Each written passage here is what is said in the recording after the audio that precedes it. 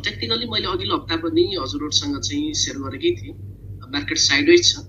र अब मैले अलिकति के रिलेट गर्न चाहेँ भने फन्डामेन्टल कुराहरू राष्ट्र ब्याङ्कले लिने पोलिसीका कुराहरू लिक्विडिटीका कुराहरू जति पनि कुराहरू छ हामी आम लगानीकर्ताहरूले चाहिँ विशेष गरी हामीले सन्दर्भ राख्ने हामीले चाहिँ एउटा हाम्रो चासोको विषय भनेको बजार घट्छ कि बढ्छ भन्नेसँग रिलेटेड हुने गर्छ। सेयर कारोबारसँग सम्बन्धित व्यक्तित्वहरूको सवाल कुरा गर्नुपर्दा म आम जनजीवनको विषयमा चाहिँ कुरा गर्न रुचाएँ यतिखेर त समग्रमा हेर्नुहोस् यो प्राविधिक विश्लेषणको एउटा पहिलो मान्यता के हो भने बजारलाई सबै कुरा थाहा हुन्छ। बजारलाई योपालिको पोलिसीमा कुनै परिवर्तन आउँदैन भन्ने कुरा हजुरहरूले पछिल्लो दुई दिनको कारोबार जुन क्यान्डिल बनेको छ त्यसले नै दर्शाइसक्यो। किनभने इन्डिसिजन क्यान्डिलहरू बनेको थियो। अर्थात् यदि हजुरहरूले राम्रोसँग हेर्नुहुन्छ भने कुनै पनि विशेष पोलिसी एनाउन्समेन्टको बेला अर्थात् तपाईँको चाहिँ इमिडिएटली के अरे जुन प्रकारले मार्केटले रिएक्सन गर्ने गर्छ प्रायः मार्केटले चाहिँ सबै कुरा डिस्काउन्ट गरिसकेको हुन्छ र गर्ने गर्छ। त्यसो भएकोले के भन्छ जुन प्रकारको एउटा एक्सपेक्टेसन थियो विशेष गरी हामी सेयर लगानीकर्ताहरूले हाम्रो भलोको हिसाबमा चाहिँ पोलिसी आइयोस् भन्ने अपेक्षा राख्ने एउटा पार्ट भयो। तर सरकारी आँखाबाट हेर्दा अर्थात् समग्र राष्ट्र बैङ्कको आँखाबाट हेर्दा उसले राष्ट्रिय अर्थतन्त्रलाई प्रायोरिटीमा राख्नुपर्ने प्राथमिकतामा राख्नुपर्ने अर्को विषय रह्यो। त्यसमा हामीले हाम्रो चाहना पुरा भयो कि भएन भन्दा पनि अब सेयर बजार कता जान्छ भन्ने कुरा हाम्रो चाहिँ बढी चासोको विषय रह्यो। र सेयर बजारलाई प्राविधिक आँखाबाट हेर्ने हो भने यतिखेर बिल्कुल साइडवेजमा छ। हजुरहरूले पछिल्लो निरन्तर अगस्तदेखि नै अगस्त अठार पछिको के अरे एकियान वर्ल्डको हजुरहरू यदि विकली एनालिसिसहरूलाई फलो गराउनु भएको छ भने हामी निरन्तर भनिरहेको छौँ बजार साइडवेजमा छ र साइडवेजको बेला बजार चाहिँ केही माथि जाने केही तल जाने केही माथि जाने केही तल जाने डिसाइन प्रवृत्ति देखाउने गर्छ। र अहिले पनि प्राविधिक हिसाबमा म बिल्कुल टेक्निकली मात्र यहाँलाई सेयर गर्न पर्दा बजार चाहिँ साइडवेज छ। र एउटा बिल्कुल नयाँ ब्रेकआउटको तयारी चाहिँ करिब करिब गर्दैछ बजारले। म दुइटा मात्र कुरा हजुरलाई सजिलो बुझ्ने भाषामा भन्छु। हजुरहरूले यदि नेप्सेको डेली चार्टमा बोलिङ्गर ब्यान्ड लाएर हेर्नुहुन्छ भने बोलिङ्गर ब्यान्ड स्कुज भएको छ। विशेष गरी जब बोलिङ्गर ब्यान्ड स्कुज हुन्छ त्योभन्दा पछि ब्रेकआउट लिने गर्छ। ब्रेकआउट लिइसकेपछि यो जता पनि ब्रेकआउट कता ब्रेकआउट गर्छ भन्ने कुरा स्कुज हुँदै गर्दा चाहिँ थाहा हुँदैन। र हाम्रो लागि दुइटा अवसरको विषय रह्यो। यदि बोलिङ्गर ब्यान्ड ब्रेकआउट भएर तल झर्छ भने अझै सस्तोमा खरिद गर्ने अवसर रह्यो हामी सेयर गर्ने मान्छेहरूको लागि। र यदि बोलिङ्गर ब्यान्डले अपसाइड ब्रेकआउट गर्छ भने ऱ्यालीलाई जोइन गर्ने कुराहरू रह्यो। अर्थात् हाम्रो अलरेडीको होल्डिङ पोजिसनहरू छ भने हामीले त्यसलाई चाहिँ एउटा सही तरि सही तरिकाले के भन्छ तपाईँको चाहिँ लिक्विड गर्ने स्थितिहरू रह्यो। त्यसरी आरएसआईको आँखाबाट हेर्ने हो भने आरएसआई पनि टोटल्ली नोभेम्बर महिनाभरि नै साठी र चालिसको बिचमा तलमाथि गरिराखेको स्थिति छ। त्यसरी प्राविधिक एङ्गलबाट हेर्दा बिल्कुल साइडवेजमा छ निप्से र अब चाहिँ आउने केही दिनको कारोबार पश्चात मात्र हामी कता जान्छ भन्न सक्छौँ। तर अहिले चाहिँ दिशाहीन छ। दिशाहीन भएको स्थितिमा यो कता जान्छ भन्ने कुरा भन्न नै तपाईँको के हो त भन्दा भन्न नसक्ने स्थिति रहन्छ। किनभने ट्रेन्ड नै दिशाहीन छ अर्थात् साइडवेज ट्रेन्ड रहेको छ। बिल्कुल साइडवेज प्रवृत्तिमा चाहिँ यतिखेर लेप्से र हामीले ब्रेकआउटलाई कुर्न पर्ने हुन्छ। र हजुरहरू विशेष गरी नयाँ लगानीकर्ताहरू हुनुहुन्छ। र लेप्सेमा कारोबार गर्ने सोच राख्नु भएको छ भने कमसेकम हजुरहरूले धैर्यतापूर्वक पर्खेर यदि नेप्सेले चाहिँ अपसाइड ब्रेकआउट गर्छ भने बल्ल हजुरहरूले चाहिँ फन्डामेन्टली साउन्ड कम्पनीहरू चाहिँ जोइन गर्न सक्नुहुन्छ र केही गरी नेप्से डाउन साइड मुभ बनाउँछ। अर्थात् अलिकति अझै फर्दर एउटा करेक्सनतिर आउँछ भने सस्तोमा सेयर किन्ने त्यो एउटा अवसरको रूपमा लिन सक्नुहुन्छ। र प्राविधिक एङ्गलबाट हेर्दा फेरि पनि मैले जोडेँ कुनै पनि फन्डामेन्टल कारणले गर्दा मूल्यले त्यसको चाहिँ प्रभाव आफूमा दर्शाउने गर्छ र मूल्यको प्रभावले गर्दा नै टेक्निकल सेटअपहरू बन्ने गर्छ र टेक्निकल यतिखेर के हो त भन्दा मार्केट बिल्कुल साइडेज स्थितिमा छ। र यहाँलाई अझ सजिलो भाषामा भन्नुपर्दा नेप्सेले पछिल्लो समयमा लोवर लो बनाइसकेपछि एउटा लोवर हाई बनाएको छ र फेरि हायर लो बनाएको छ। यो किसिमको प्रवृत्ति भनेको के हो त भन्दा साइडेज प्रवृत्ति रहने गर्छ। मैले अहिले यति नै जोड्न खोजेँ आज विशेष गरी राष्ट्र बैङ्कको चाहिँ मौलिक नीतिको समीक्षा र योसँग सम्बन्धित थुप्रै विज्ञेश्वरहरूको चाहिँ हामीले के भन्छ अवधारणाहरू सुनिरहेका छौँ। प्राविधिक एङ्गलबाट अहिले पनि हामीले पर्खर र हेरको नीति अवलम्बन गर्न नै सबभन्दा विवेकपूर्ण निर्णय रहला। मैले यति नै भन्न चाहेँ मैले चाहिँ। सबैलाई गुड इभिनिङ थ्याङ्क यू सन्ध्याजी म तल सुन्नै बसिरहेको थिएँ बोलाइहाल्नुभयो। अनि हाम्रो काफ्ले सरले पनि अलिअलि यसो ब्याङ्कको बारेमा केही कमेन्ट गर्नुभयो हुन त जवाब परशुराम दाईले दिइसक्नुभयो। त्यही पनि यसो बोलौँ बोलौँ किन भन्दा यस्तो चिजहरूमा तर्क वितर्क गर्नु दोष लाउनु भन्दा पनि केही चिजहरू कहिलेकाहीँ हामीलाई जानकारी नभएर पनि कन्फ्युज हुन्छौँ। त्यसले गर्दाखेरि हामी एकअर्काको बारेमा बनाउनु पर्ने धारणा सही नबनाएर त्यो नियत खराब राखेर होइन कि जानकारी सही नहुनाको कारणले गर्दाखेरि कहिलेकाहीँ धारणाहरू अन्यथा राख्यौँ भने न्याय हुँदैन भन्ने लागेर पनि कहिलेकाहीँ बुझ्नु आएर र म त्यही अनुसारै मेरो पोइन्टहरू राख्छु यहाँ। पहिला त सन्ध्याजीले भनेकै पोइन्टमै म बसेर कुरा गर्नु पर्दाखेरि अब मौद्रिक नीतिको समीक्षा आयो र समीक्षा आउँदै गर्दा धेरै मान्छेहरूले धेरै चिजको अपेक्षा गरेका थिए। तपाईँहरू यहाँ भएको साथीभाइहरूले पनि धेरै यो चार बाह्र यो त्यो सिडी सिसिडीलाई सिडी सिडीको यो गर्ने त्यो गर्ने धेरै मान्छेहरूले धेरै चिज अपेक्षा गर्नुभएको थियो। तर मैले चाहिँ अपेक्षा गरेको अनुसारै मन्ट्री पोलिसीको समीक्षा आयो भन्न चाहन्छु पहिलो कुरा त। किन भन्दा यो बाह्र पनि तत्कालै हट्ने भन्ने कुरा मैले त्यति सहज देखाएको थिइनँ र म यो चिजहरूमा के त भन्दा पोलिसीको कुराहरू तलमाथि बेला बेलामा गरिराख्नुपर्छ भन्नेमा पनि विश्वास नगर्ने हुनाले राष्ट्र ब्याङ्कले स्ट्यान्ड लिन्छ भन्ने लागेको थियो त्यो लिएर गयो।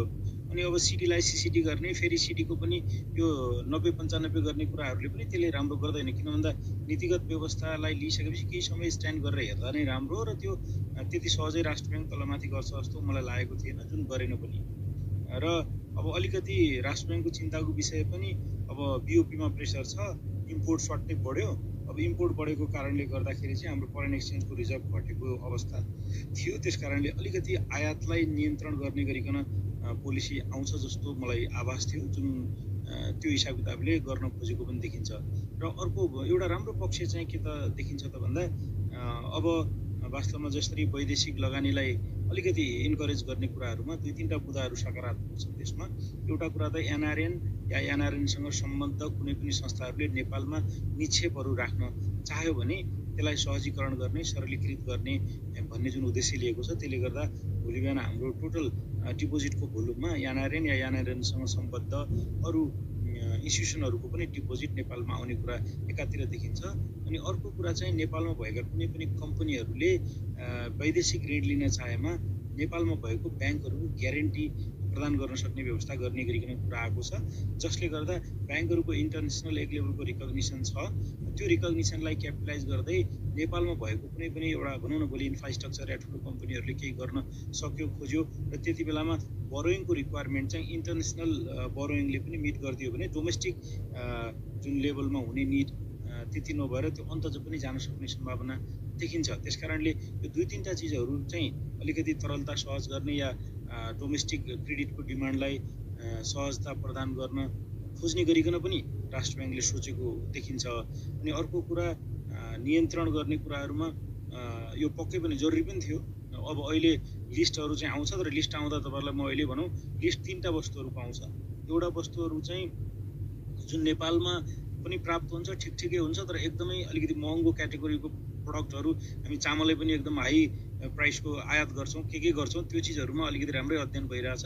र त्यो हिसाब किताबको एकदमै महँगो वस्तुहरू अनि अर्को कुरा चाहिँ लग्जरियस चिजहरू जुन चाहिँ हाम्रो डे टु डे लाइफलाई नभएर नहुने तर लग्जरीको चिजहरूमा पनि केही बन्देज हुनसक्छ भने अब कतिपय वस्तुहरू जुन नेपालमा आयात त हुन्छ तर त्यो सिधै इन्डियातिर एक्सपोर्ट भएर जान्छ। त्यस्ता प्रकारका वस्तुहरू अलिकति नियन्त्रित गर्ने हिसाब किताबले सूची आउने छ त्यो सूची त्यसरी नै आउँछ। र यो समग्रमा हेर्दा त्यही नै देखिन्छ। त्यस कारणले अहिलेको अवस्थामा अब तरलतालाई तत्कालै सहज गरिहाल्ने या भन्ने कुरा त देखिँदैन र राष्ट्र ब्याङ्कले गर्ने अपेक्षा पनि थिएन। त्यस कारणले मोनिट्री पोलिसीलाई अब यो राष्ट्र ब्याङ्कले यो गर्यो त्यो गर्यो भनेर या त्यो गाली गरेर हुँदैन। यो अपेक्षाकृत आएको छ र यसलाई अन्यथा मान्नु पर्छ जस्तो मलाई लाग्दैन पहिलो कुरा।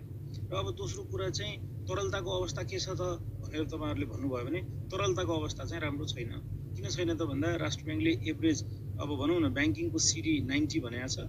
अब त्यो नाइन्टीको सिडी अहिले चाहिँ त्यो हेर्नुभयो भने तपाईँहरूले यो वर्ष असारसम्म हाम्रो त्यो डिभेन्चरलाई पनि काउन्ट गर्न दिएर जाँदाखेरि पनि राष्ट्र ब्याङ्कको ड्यासबोर्ड अहिले तपाईँहरूले खोलेर हेर्नुभयो भने नाइन्टी पोइन्ट थ्री वान छ। त्यो भनेको चाहिँ हाम्रो आजकै अवस्थामा पनि एकदम सिलिङको सिडी रेसियोभन्दा पन्ध्र अरब रुपियाँ हाराहारी पैसा ब्याङ्कको बढी लेन्डिङ गएको छ र लोनहरू बढ्ने क्रम जारी छ। डिपोजिटको ग्रोथ त्यसरी भएको अवस्था देखिँदैन। र अब यो कुरा गर्दै गर्दा अघि हाम्रो काफ्ले सरले भन्नुहुन्थ्यो ब्याङ्करले जथाभावी लोन दिए यो चिजमा म फिट्टिकै एग्री गर्दिनँ। म यो कोही कोही मान्छे आउँछ भने तर्कै गर्नु पनि तयार छु। जस्तै पोहोर सालको बेलामा हामीले ब्याङ्कहरूले जथाभावी लेन्डिङ गरे भनेनौँ परार भनेनौँ किन भने त भन्दाखेरि लिक्विडिटीको असहजता बारेमा हामीलाई जानकारी थिएन।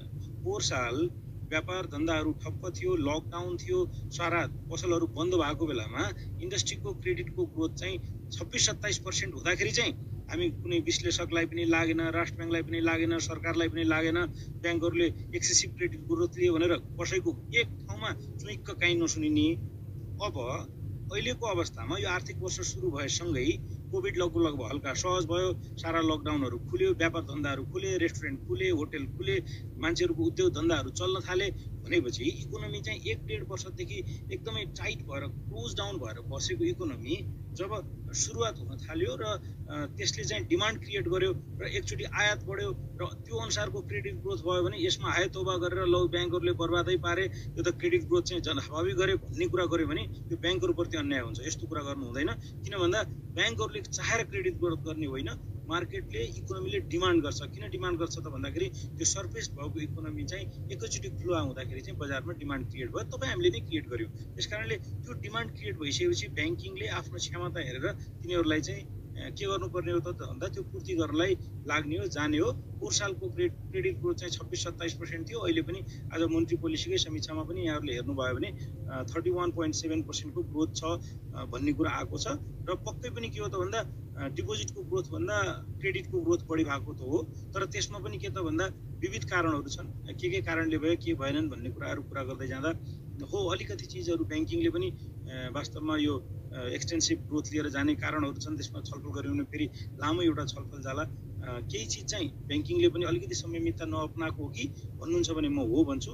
तर ब्याङ्कले अनुत्पादक क्षेत्रमा गए यो गयो त्यो गयो भनेरको कुरालाई म चार्जलाई फिटिकै स्वीकार गर्दिनँ। किन भन्दा राष्ट्र ब्याङ्कले फोर्टी फाइभ पर्सेन्ट हाम्रो पोर्टफोलियोको पैँचालिस पर्सेन्ट त डाइरेक्टेड लेन्डिङमा पठाएको छ र हामी डाटा नै निकालेर हेऱ्यौँ भने पनि अहिले राष्ट्र ब्याङ्क एकदमै इफिसियन्ट भएको छ। यहाँहरूले पनि राष्ट्र ब्याङ्कको वेबसाइट खोलेर हेर्नुभयो भने मन्थली बेसिसमै कुन कुन सेक्टरमा कति कर्जा गएको छ भनेर देखिन्छ। त्यस कारणले अहिले गएको कर्जा चाहिँ जनरली ट्रेडिङ सेक्टरमा होलसेल रिटेल सेक्टरमा बढी गएको देखिन्छ। त्यसरी अनुत्पादक क्षेत्रमा त्यसरी गएको क्रेडिट ग्रोथ भएको चाहिँ देखिएको छैन। यो चाहिँ मार्केटको डिमान्डले नै क्रिएट गरेको अवस्था हो। र अहिले बजारको स्थिति टाइट छ त्यो तपाईँ हामी सबैलाई थाहा छ। बजारमा यदि हामी अहिले गयौँ भने पनि हामीले वास्तवमा कुनै पनि ब्याङ्कमा गयौँ भने अहिले ल पचास लाख एक करोड रुपियाँको कर्जा चाहियो भने पनि ब्याङ्कले दुईचोटि सोध्छ आइहाल्नुहोस् भन्ने अवस्था छैन। र यो अवस्था केही समय फेरि कन्टिन्यू हुने देखिन्छ। किन भन्दा राष्ट्र ब्याङ्कले आजको मन्त्री पोलिसीको व्यवस्थामा चाहिँ अब जनसञ्चालक समितिबाट समेत पारित गराई असार मसान्तसम्म कसरी नाइन्टी पर्सेन्टमा ल्याएर आउँछौ भनेर तिमीहरूले पेस गर्नुपर्ने भनिसकेपछि अब राष्ट्र ब्याङ्कले त्यो रेस्पोन्सिबिलिटी म्यानेजमेन्टमाबाट सञ्चालक समितिमै सिफ्ट गरिसकेको अवस्था छ। त्यो अवस्था भइसकेपछि अब ब्याङ्किङ अझै अलिकति बढी यसमा लागेर जान्छ हेर्छ। र केही समय चाहिँ क्रेडिटको एक्सपान्सनमा लिमिट लाग्ने जस्तो अवस्था देखिन्छ। डिपोजिटको ग्रोथ तत्कालै भइहाल्ने कुनै त्यस्तो मिराकल हुने मैले अवस्था देखाएको छैन। अब पक्कै तपाईँ हामीलाई थाहा छ इम्पोर्टको पेमेन्टहरू हुँदाखेरि चाहिँ रिमिटेन्सहरू यतै युज भयो कि अलिकति भन्ने कुराको शङ्कामा होइन भनेर हामीले भन्न सक्दैनौँ। इम्पोर्ट अलिकति घटेर गयो भनेपछि त्यसले अलिकति कहीँ न कहीँ सजिलो पार्ला। त्यसपछि अर्थमन्त्रीले पनि भन्नुभएको छ के अरे अब बजेट क्यालेन्डरै बनाएर भटाभटै बजेट खर्च गर्ने गराउने कुरा गर्नुभयो भने त्यसबाट पनि अलिकति आउला। तर यसो भन्दै गर्दा फेरि के हुन्छ त भन्दा अब पुस मसान्तमा टोटल इन्कम ट्याक्सको फोर्टी पर्सेन्ट एडभान्स ट्याक्स जम्मा गर्नुपर्छ त्यति बेलामा सट्टै फेरि डेढ सयदेखि दुई सय अरबको हाराहारी पैसा फेरि सरकारी राजस्वमा फेरि जम्मा भएर जान्छ। त्यस कारणले समग्र स्थितिहरू हेर्दाखेरि तत्कालै लिक्विडिटी सहज भइहाल्ने मैले देख्दिनँ। यो यस्तै यस्तै चलेर जान्छ र अब पोलिसी लेभलमा पनि राष्ट्र ब्याङ्कले खराबै गर्न खोजेको देखिँदैन। तर तत्कालै समाधान दिएको पनि अवस्था देखिँदैन ओभरअल लिक्विडिटीको अवस्था यस्तै छ। ब्याङ्किङको पनि अब प्रोफिटेबिलिटीमा हिट हुने अर्को कुरा चाहिँ अब यो यसरी क्रेडिट एक्सपान्सन नहुने नयाँ कर्जाहरू जान नसक्ने स्थिति सिर्जना भइराख्यो भने कोभिडको कारणले जुन अब एनपिएको व्यवस्थापन पनि गाह्रो गाह्रो हुन लागेको अवस्था चाहिँ छ। किन भन्दा राष्ट्र ब्याङ्कले पोहोर साल लगभग लगभग सबै प्यारामिटर्सहरूमा रिल्याक्सेसन दिएर गयो। अब त्यो सबै टाइट हुँदै जाँदाखेरि र क्रेडिट एक्सपान्सन पनि नहुने अवस्था भयो भने हामी यो मैले कोभिडको भन्दा पहिलाको जुन वान पोइन्ट सिक्स सेभेनको इन्डस्ट्री एभरेजको एनपिए चाहिँ बढेर अहिले टु पोइन्ट वान फाइभ भइसकेको छ अहिलेको अवस्थामा। त्यो अलिकति एनपिए बढेर गयो र अब क्रेडिट एक्सपान्सन पनि नहुने अपरेटिङ कस्ट बढेर जाने अवस्था यस्तै कायम रहिरह्यो भने ब्याङ्किङको प्रोफिटेबिलिटीमा पनि अलिकति नेगेटिभ हिट हुन्छ कि जस्तो मलाई लाग्छ। मैले मन्ट्री पोलिसीको सम्बन्धमा अनि अब अहिलेको तरलता अवस्था अब ब्याङ्किङले के कसो गरिरहेको छ भन्ने कुराहरू र अलिकति अब ब्याङ्किङप्रति पनि अलिकति पूर्वाग्रही नहुँ। ब्याङ्किङ हामी भनौँ न पुँजी बजारमा सम्बन्धी मैले अलिकति छैन किन भन्दा यति कुरा गरेपछि पुँजी बजारमा पर्ने असरहरू तपाईँहरूले पनि मापन गरि नै हाल्नुहुन्छ र पुँजी बजारलाई सिधै यो हरेक चिजलाई जोडेर धेरै उछलकुद मचाउन जरुरी छैन। किन भन्दा बजारले धेरै चिजहरू पचाएर गइसकेकै अवस्थामा छ र यो मोन्ट्री पोलिसीले बजारलाई असर पार्नुपर्छ भन्ने मलाई किन लाग्दैन त भन्दा मोन्ट्री पोलिसीले बजारलाई बिगार्ने गरिकन केही थप चिज आएको छैन। बजारमा अब अपेक्षा गरे अनुसार चाहिँ पुरै परिवर्तन हुने गरिकन त्यो पोलिसी नै चेन्ज हुन्छ भन्ने कुरा त्यो अनरियलिस्टिक हामीले एजम्सन लिएको थियौँ भने त्यो भएन भनेर बजारलाई उल्टा घुमाउने भए त केही पनि लागेन। तर यो मोन्ट्री पोलिसी आउनुभन्दा दुई दिन अगाडिको स्थितिभन्दा मोन्ट्री पोलिसी आइसकेपछिको अवस्थामा खासै नकारात्मक चिजहरू नथपिने भएको कारणले गर्दाखेरि त्यसको कारणले मात्रै बजारमा प्रभाव पर्नुपर्छ मलाई चाहिँ लाग्दैन। मैले यति नै भन्न चाहेँ। अब अहिले चाहिँ क्रेडिट एक्सपान्सन हुने बेलामा कोभिडको नर्मल सिचुएसन आएको बेलामा भएको क्रेडिट ग्रोथमा ब्याङ्किङले सपोर्ट गर्यो भने हामीले अन्यथा गऱ्यौँ भने अन्याय हुन्छ। किन भन्दा यति बेलामा चाहिँ यो राज्यको दायित्व नियमनकारी निकायको दायित्व किन भन्दा यति बेलामा क्रेडिट एक्सपान्सन रिक्वायरमेन्ट हुन्छ यसले इकोनोमीलाई सहजता प्रदान गर्छ। यति बेलामा लिक्विडिटी सहज भइदिएको भए ब्याज तल हुन्थ्यो। ब्याज दर तल भइदिएको भए चाहिँ तपाईँको अहिले भइरहेको कर्जाहरूको कर्जाको ब्याज दर कम हुन्थ्यो। अलिकति खजार खराब अवस्थामा भइरहेको चाहिँ परियोजनाहरूको लागत कम हुन्थ्यो। अब चाहेर नचाहेर बेस रेट ब्याङ्कहरूको बढ्दैछ नयाँ क्रेडिट जाने कुराहरूको प्राइस आज हेर्नुभयो भने साढे दस एघार पर्सेन्ट हुन्छ भनेपछि भर्खर भर्खर कोभिडबाट थलिएर रिस्टोर हुन लागेको अर्थतन्त्रमा हामीले चाहेको दुईवटा चिज के हो त भन्दाखेरि ब्याज दर तल हुनुपर्छ तरलता सहज हुनुपर्छ एक्स अलिकति त्यो क्रेडिटको ग्रोथ चाहिँ एक्सपान्सन हुने प्रकारको हुनुपर्छ। त्यसलाई चाहिँ सरकार र नियमनकारी निकायहरूले सहजता प्रदान गरी गरी जानुपर्छ। यसमा चाहिँ ब्याङ्करले यसो गरे उसले यसो गरे भनेर दोष लगाउने कुरा कसैले गर्यो भने त्यो ब्याङ्करहरूप्रति अन्यथा हुन्छ अन्याय हुन्छ त्यसरी कुरा गर्नु हुँदैन। किन भन्दा हामीसँग फिक्स फ्याक्ट छ फिगर छ।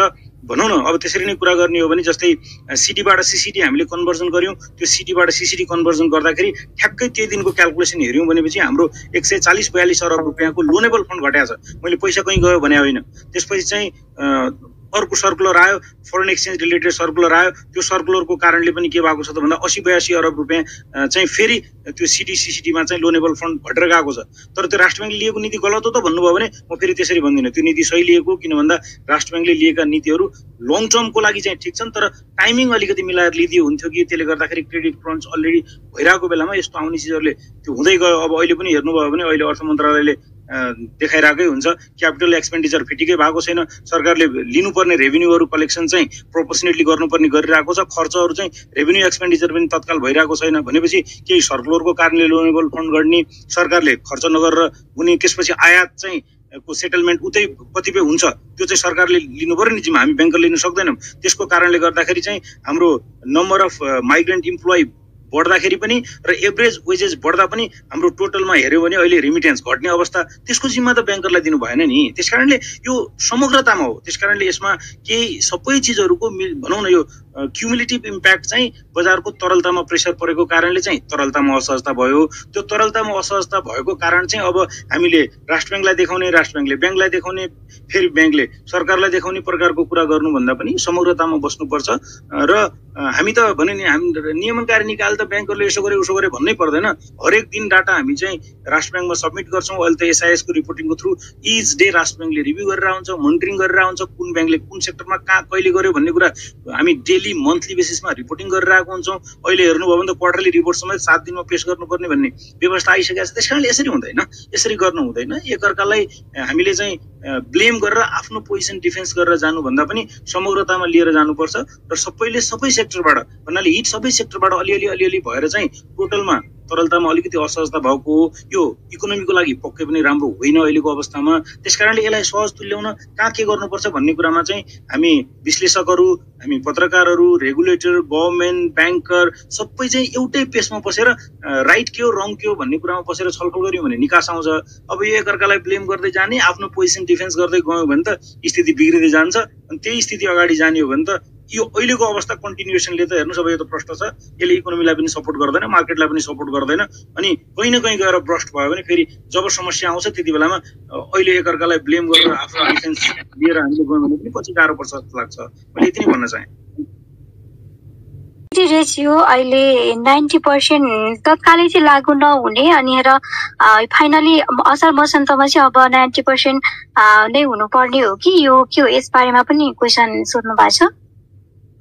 अब सन्ध्याजी यसमा मोन्ट्री पोलिसीको प्रोभिजनले पहिला पनि राष्ट्र ब्याङ्कले असार मसान्तसम्म नाइन्टीमा ल्याइसक्नु पर्ने र जुन दिन सर्कुलर आएको थियो त्यो सर्कुलरको डेटमा भएको ननाग्ने गरिकन क्रमशः घटाउँदै नाइन्टीमा लिएर जानुपर्ने व्यवस्था गरेका थियो भने आज मोन्ट्री पोलिसीको रिभिजनमा चाहिँ ब्याङ्क वित्तीय संस्थाहरूले असार मसान्तसम्ममा ब्याङ्क वित्तीय संस्थाहरूले कसरी आफ्नो सिटी रेसियो नाइन्टी पर्सेन्टमा मेन्टेन गर्छौँ भन्ने कुराको त्यो योजना सञ्चालक समितिबाट पारित गराइ पेस गर्नुपर्नेछ भनेको छ। त्यसको कुरा भनेको के हो त भन्दा अब असारमा नाइन्टी पर्सेन्ट बनाउनै छ भने म आज नाइन्टी फाइभ लिएर जान्छु भनेर भन्न सक्ने स्थिति रहँदैन। किन भन्दा मैले लोन चाहिँ सेटल त भनेको बेलामा गराउन सक्ने स्थिति छैन र ब्याङ्करहरू चाहिँ यतिमा त अवेर छन् कि यो वर्षको अब यो तरलता यस्तै रह्यो भने यो तरलता सहज हुँदैन भनेपछि हामीले चाहेको बेलामा लोन सेटल हुन सक्ने स्थिति नभएपछि मैले बिचमा मात्रै क्रेडिट एक्सपान्सन लिएर जाने कसैले पनि करेज गर्दैन। त्यो भयो भने चाहिँ लगभग लगभग लोन चाहिँ जहाँ छ त्यही स्थितिमा बसेर बिस्तारै बिस्तारै डिपोजिट क्रिएसन भए सँगसँगै मात्रै आफ्नो ग्रोथ लिएर जानुपर्ने देखिन्छ।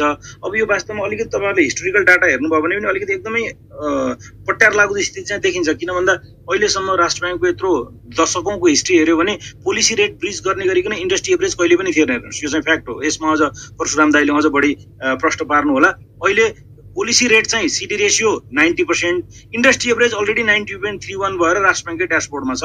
र त्यसमा फेरि डिभेन्चर सहित अहिले काउन्ट गर्दा पनि त्यो अवस्थामा छ भनेपछि अब अनि हामीले देखिसकेका छौँ कि यो यो गएको पिरियडभित्र चाहिँ हाम्रो लगभग लगभग कर्जाको ग्रोथ चाहिँ तिन सय पैँसठी सतसठी कति अरबले भइसक्यो तर डिपोजिटको ग्रोथ चाहिँ सत्तरी अरबले पनि भएको छैन। भने यो स्थिति सिर्जना हुँदै गर्दाखेरि चाहिँ यो अब राष्ट्र ब्याङ्कले असारसम्म टाइम दिएकै छ त्यही भएर अहिले चाहिँ ब्याङ्कहरूले कर्जा प्रवाह गर्छन् कि लिक्विडिटी सहज हुन्छ कि या भनेको बेलामा ब्याङ्कले कर्जा दिन्छन् कि भन्ने अपेक्षा हामीले राख्यौँ भने त्यो अन्यथा हुन्छ। किन भन्दा मैले असार मसान्त त अब आइ नै हाल्छ पाँच छ महिनामा सात आठ नौ महिनामा। अब त्यति बेलासम्म फर्सिएबल फ्युचरमा डिपोजिट क्रिएसन हुन सक्ने या मैले डिपोजिट थप ल्याउन सक्ने कहीँबाट चाहिँ ठ्याक्कै सम्भावना नभएपछि त मैले ब्याङ्कमा बसेर डिसिजन गर्नु पऱ्यो भने पनि मैले लेन्डिङ चाहिँ स्वाटै बढाएर जान सक्ने अवस्था भन्दा पनि लेन्डिङलाई पख पख हेर्दै गरेर आफ्नो डिपोजिट क्रिएसन भएपछि कमसेकम आधा एक पर्सेन्टको कुसनमा रहेरै जानुपर्ने हुन्छ। किन भन्दा रेगुलेटरी रिक्वायरमेन्ट जुन छ त्यसलाई ब्रिज गरेर जाने भन्ने कुराको प्लान ब्याङ्कले गर्न सक्दैन। त्यस कारणले त्यो कारण चाहिँ राष्ट्र ब्याङ्कले असार मसान्तसम्म नाइन्टीमा ल्याउनु पर्ने त भनेको छ तर त्यो भन्दै गर्दा पनि हामी अब ब्याङ्करहरू अलरेडी अब यसै ब्लेम लागिसकेका छ। एग्रेसिभ ग्रोथ गयो भन्ने कुरा त्यो ग्रोथलाई एग्रेसिभ ग्रोथ लिएर अहिले बिचमा जे पनि होस् ninety three ninety four ninety five पुग्यो भने पनि हामी नाइन्टी पछि पुर्याउँला नि त भनेर कुनै पनि ब्याङ्कले डिसिजन लिन सक्दैन। भइरहेको ब्याङ्कहरूलाई कुसन चाहिँ भयो। जस्तै अहिले कसैको ninety ninety five ninety ninety एटै पनि छ भने बिस्तारै म कसरी लिएर जान्छु त भन्ने कुराको प्लान चाहिँ पेस गर्नु पर्यो। त्यो प्लान पेस गर्ने मात्र होइन फेरि राष्ट्र ब्याङ्क बुझाउने डकुमेन्टको आधारमा मात्र होइन। असारमा त्यो पुर्याएन भने फेरि पेनाल्टीको क्लजहरू हुन सक्छन्। त्यस कारणले ब्याङ्कहरूले त्यसरी व्यवस्थापन गर्छन् र बजारको स्थिति यस्तै हुन्छ भन्न चाहिँ मैले। सन्देश। थ्याङ्क यू हजुर भनेपछि अहिले असारभन्दा अगाडि चाहिँ सिडी रेसियो अब ninety ninety two ninety five ninety eight जति भए पनि हुने भयो। असारसम्म चाहिँ नाइन्टी नै हुनुपर्छ भन्ने बुझ्नु पर्यो होइन सर हामीले? अब यस्तो छ अहिले चाहिँ अब मोन्ट्री पोलिसीको समीक्षापछि आउने सर्कुलरले त्यसलाई अझै प्रष्ट गर्छ किन भन्दा हामीलाई मोन्ट्री पोलिसीको अहिले रिभ्यू मात्रै आएको त्यसको सर्कुलर हामीले वेट गर्छौँ। त्यो सर्कुलरमा चाहिँ प्रष्टसँग अब होइन यो बेलामा चाहिँ नाइन्टी क्रस भयो पनि केही नहुने भनेर आयो भने चाहिँ केही पनि फरक परेन। बिचमा कति कहिले पञ्च पन्चानब्बे पुग्ला छयानब्बे पुग्ला तर हामी असारमा पुर्याउँला। तर त्यसो नभएर राष्ट्र ब्याङ्कले चाहिँ फेरि पहिलाको जस्तै सर्कुलर जारी गरेर यो चाहिँ जुन दिन सर्कुलर जारी गर्यो त्यो डेटबाट क्रमशः घटाउँदै लिनुपर्ने छ भन्यो भने त कसैको बयानब्बे तिरानब्बे छ भने त्यसले बिस्तारै घटाउँदै बयानब्बेबाट एकानब्बे गर्दै नब्बे ल्याउनु पऱ्यो चौरानब्बे छ भने घटाएर ल्याएर आउनु पऱ्यो त्यस कारणले यो यसलाई चाहिँ मन्त्री पोलिसीको रिभ्यू पछिको सर्कुलरसम्म कुद्नुपर्छ होला सन्देश। अनि मनोज सर अर्को पनि क्वेसन जस्तो कि अब लिक्विडिटीको अवस्था त अब अहिले एकदम टाइट नै छ होइन?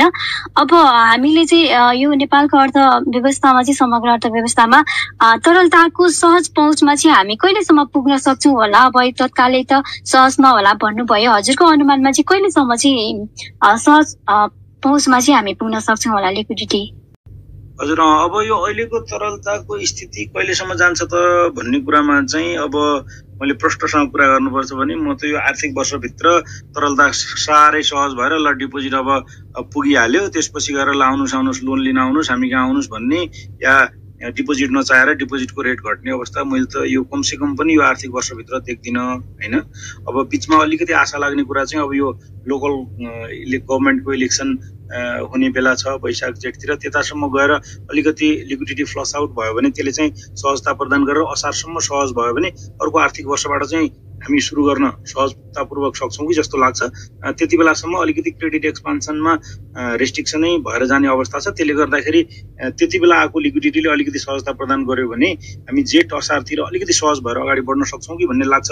आजबाट हेर्दाखेरि अब तर त्यो अवस्था कायम रहेन र अरू स्थितिहरू पनि बिचमा आएर बिग्रेर गयो भने त अब तरलताको स्थिति केही समय हामीले यहाँभन्दा पहिला पनि अब इन्ट्रेस्टको रेटहरू माथि देखेको लिक्विडिटीको असहज अवस्था देखेको बिचको एक डेढ वर्ष मात्रै अलिकति लिक्विडिटी सहज भएको अवस्था थियो। अब ब्याङ्किङको लेन्डिङ एपेटाइट बढेर गएको अवस्था छ। दोहोरो तेह्रो कुरा छ नि। राष्ट्र ब्याङ्कले पनि अब कमाएको जति पैसाहरू चाहिँ क्यास डिभिडेन्ड दिने कुरा रेस्ट्रिक्ट गरिदियो। त्यहाँ एभरेज कस्ट अफ डिपोजिटसम्म ब्याङ्कहरूले फटाफट बोनस सेयर जारी गरिरहेको छ। कुनै कुनै एउटा एकदमै प्रुडेन्टली सोच्ने ब्याङ्क जसलाई चाहिँ मार्केटको प्रेसर नफिल गर्ने ब्याङ्कहरूले बाहेक सबैले भयो जति पैसा चाहिँ बोनस सेयर भयो भने बाँडेको छ त्यसले गर्दाखेरि लेन्डिङ एपिटाइट बढेर गएको छ। बिस्तारै बिस्तारै गएको प्रोफिटले पनि लेन्डिङ एपिटाइट बढाएर जाने हो। अब धेरै ठाउँहरूमा ब्याङ्करको अहिले हेर्नुभयो भने अवस्था चाहिँ फिबेस्ट इन्कमहरू चाहिँ घट्दै गएको हुनाले अब प्रोफिटेबिलिटी मेन्टेन मात्रै गर्नको लागि पनि भोल्युमको ग्रोथ गरी नगरी नहुने अवस्था छ। त्यो हिसाब किताबले अलिकति फर्सिएबल फ्युचरसम्म लिक्विडिटी चाहिँ असहज नभए पनि टाइट टाइट रहन्छ कि भन्ने मेरो चाहिँ अब्जर्भेसन छ. थ्याङ्क यू एउटा कुरा सोधौँ है सन्ध्यामा मनोज सरलाई। हुन्छ सर। अब मनोज सर हजुरले भनेअनुसार लास्ट इयर हामीसँग कोभिड हुँदाखेरि चाहिँ हामी कहाँ लिक्विडिटी सहज थियो होइन? अब भोलि फेरि त्यस्तो सिचुएसन पनि होला जस्तो देखिएको छ। अहिले अब रिसेन्टली एउटा अफ्रिकामा होइन साउथ अफ्रिकामा अब तपाईँको कोभिड देखिएको छ भेरिएन्ट होइन त्यसले अब अहिले युकेले त बाइन नै गरिसक्यो होइन छवटा कन्ट्रीको फ्लाइटको लागि। अब यो अलिकति ऱ्यापिडली देखिएको छ। अब यो यस्तो भयो भने त फेरि हामी कहाँ त अरू रियल सेक्टरलाई फेरि हिट गर्न सक्छ नि अनि त्यसले गर्दा चाहिँ कि हामीहरूको फेरि लिक्विडिटी सहज हुने चान्सेस हुन्छ त कि? हामी कहाँ त अब अर्थतन्त्र त उल्टो छ होइन। बाहिर चाहिँ लिक्विडिटी कोरोना भयो भने लिक्विडिटी टाइट हुन्छ होइन? हामी कहाँ चाहिँ कोरोना हुँदा चाहिँ लिक्विडिटी सहज भएको भएर यसलाई कसरी भन्नुहुन्छ सरले प्लिज होइन राजनजी यसो छ। हाम्रो त कोरोना लिक्विडिटी सहज भनेको सिम्पल कुरो छ नि। कोरोना भयो। कोरोना भएपछि के भयो? भनेपछि हामीले अपेक्षा गरेका थियौँ त्यसको त उल्टो भयो। हामीले अपेक्षा गरेका थियौँ ल कोरोना भयो भने चाहिँ अब रिमिटेन्स घट्छ यो घट्छ भनेको कोरोना भएको बेलामा हेर्नुहोस् रिमिटेन्स बढ्यो। अब यसको सिम्पल लजिक छ। हामीले यो ओपन सिक्रेटो बोल्न लजाउनु पर्दैन। यसको के भयो त भन्दा इम्पोर्ट ढ्याक्कै रोक्यो। इम्पोर्ट रोकिँदा बित्तिकै के भयो त भन्दाखेरि इम्पोर्टको जुन पार्सल सेटलमेन्ट उतै रिमिटेन्सको चाहिँ पैसा घाटघुट गरेर हुन्थ्यो त्यो नभएर आउनुपर्ने पैसा सबै आयो फर्केर आएको माइग्रेन्ट वर्करहरूले पनि पैसा ल्याएर आउनुभयो। त्यसले गर्दा चाहिँ के भयो त भन्दाखेरि फन्ड एकुमुलेट यता भयो फरेन करेन्सीको रिजर्भको पोजिसन पनि स्वाटै बढ्यो बिओपीको पनि पोजिसनिङ कम्फोर्टेबल भयो।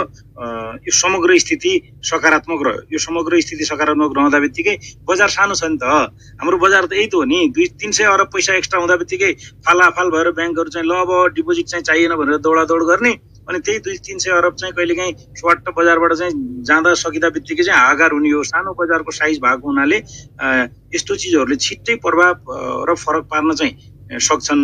अब यो कोभिड फेरि भयो भने के हुनसक्छ भन्ने कुरामा त्यही हो। अब इम्पोर्टहरू ठ्याक्कै रोकियो। आएको चाहिँ पैसाहरू यतापट्टि एकुमुलेट हुँदै जाने भयो। अनि मार्केटमा फेरि अर्को कुरा के हो? तरलता सहज भनेको के हो त भन्दाखेरि मार्केटमा डिमान्ड क्रिएट नहुने स्थिति सिर्जना भयो भने त कोभिडको बेलामा त फेरि लोनको डिमान्ड पनि क्रिएट हुँदैन त्यो हिसाब किताबले अनि सरप्लस डिपोजिट बसिराख्ने हुनाले ब्याङ्कहरू पनि हामी फेरि अलिकति हातोबा गर्दैनौँ। कहिलेकाहीँ चाहिँ वास्तवमा बजारमा भएको स्थितिभन्दा हाम्रो ब्याङ्करहरूको चाहिँ यो बानी व्यवहारले पनि मान्छेहरू बढी अत्त ल्याउँछौँ क्या हामीले।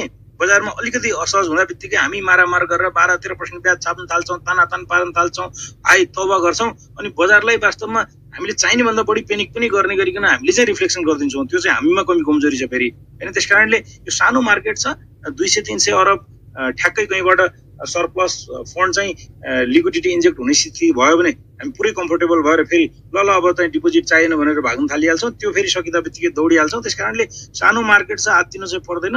तर अब यो हेरौँ कोभिडको सिचुएसन भयो भने त पक्कै पनि यो फेरि सबै चिजहरू लकडाउन सुरु हुन थाल्यो भने त त्यसले फेरि क्रेडिटको डिमान्ड हुँदैन। त्यो नहुँदा बित्तिकै अनि डिपोजिट क्रिएसन कन्टिन्युस एउटा फेजमा भइरहन्छ। त्यसले गर्दा फेरि तरलतालाई छिटो सहज प्रदान सहजता प्रदान गर्न चाहिँ सहयोग चाहिँ गर्छ राजी थ्याङ्क यू हस् thank you good evening again सबै साथीहरूमा। आजको इस्यु सायद टपिक त के छ? टपिक त केही राख्नु भएको रहन्छ खास गरी मोनिटर पोलिसीको रिभ्यूकै कुरा रहेछ। मैले मलाई चाहिँ त्यस्तो केही लागेन है। मोनिटरी पोलिसीको रिभ्यूमा खासै केही आए जस्तो मैले मानेन। अब चार बाह्रको कुरा भइ नै हाल्यो। अब त्यसलाई कति गर्ने? चार बाह्रमा चाहिँ उसले केही पनि गरेन। जुन कुनै पनि का एङ्गलबाट त्यसमा केही गर्नु अथवा त्यसलाई सकेसम्म हटाउनु। या रिल्याक्सेसन दिनु आवश्यक थियो। त्यो गरेन। त्यो गलत भयो। अब अरू ब्याङ्किङतिरको कुराहरू त हाम्रो मनोजी हाम्रो परशुराम दाईले भनिसक्नुभयो। त्यसमा थप भन्नुपर्ने कुरा केही होला जस्तो चाहिँ मलाई लाग्दैन। वेल अब यो पोलिसी लेभलको मानिसहरू चिन्तित छ भन्ने कुरामा चाहिँ म त्यति धेरै चिन्तित भए जस्तो चाहिँ भए जस्तो चाहिँ मलाई चाहिँ लाग्दैन है। चिन्तित होलान् तर उनीहरूको एक्ट चाहिँ सही ठाउँमा छैन कि। उनीहरूको पोलिसी अथवा उनीहरूको एक्ट चाहिँ टार्गेटेड है कि। अब्जेक्टिभ अथवा गोल ओरिएन्टेड त्यस्तो चाहिँ म देख्दिनँ। एफएचआर छ ऱ्यान्डम छ सुपरफिसियल छ। त्यो चाहिँ भन्न चाहिँ कति पनि ऊ लाग्दैन। फेरि मनोजीको ठाउँबाट मनोजीलाई या परशुराम मनोजीलाई चाहिँ अलिकति मैले चाहिँ भन्न अप्ठ्यारो हुन सक्ला। परशुराम दाईलाई अलि सजिलो होला मलाई अलि सजिलो छ आजको डेटसम्म भोलि पनि म म पनि कहीँ भएँ भने मलाई पनि अलिकति हुनसक्छ। मैले नि सोचेर चाहिँ अथवा अलिक थोरै चाहिँ अरू किसिमले भनौँला तर अब आज अहिले म जहाँ छु मलाई त्यो भन्न अप्ठ्यारो छैन। उनीहरू चिन्तित त होला तर उनीहरूको चिन्ता कहाँ छ भन्ने कुरा चाहिँ देखिँदैन। कि इकोनोमीकै लागि चिन्ता गरेको होला तर उनीहरूको चिन्ता अनुसारको उनीहरूको काम अथवा उनीहरूको आउटकम चाहिँ देखिँदैन है? त्यो चाहिँ छैन। बिल्कुलै छैन। एउटा इन्ट्रेस्ट रेटमा चाहिँ अलिकति केही जुन क्याप लगाउने कोसिस गर्यो त्यसलाई चाहिँ ठिकै माने मैले। त्यो बाहेक अरू त राष्ट्र ब्याङ्कको एक्टिभिटिजहरूमा म त्यति चाहिँ